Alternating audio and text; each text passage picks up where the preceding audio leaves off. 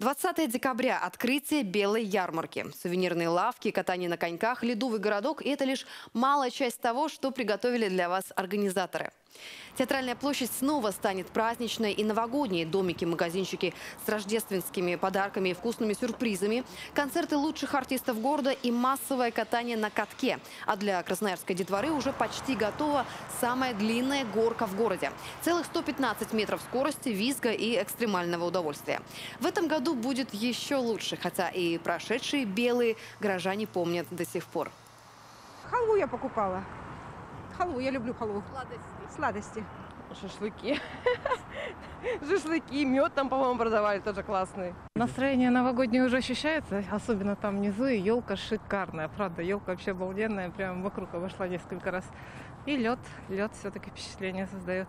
Все бегом на белую ярмарку 20 декабря.